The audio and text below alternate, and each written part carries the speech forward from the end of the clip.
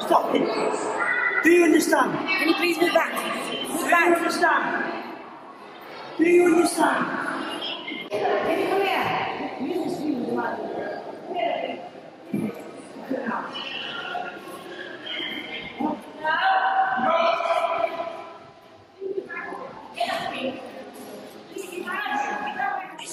Can you just please go? Get the police and we will, yeah. No, no, no, no Don't please touch me, go. hands off. Kids need to grow up in a world where they're safe, not where they're wor- worrying about is there enough food to eat, not when they're watching TV and seeing millions of people die from deadly heat waves. Kids need to grow up safe. Come on, Em.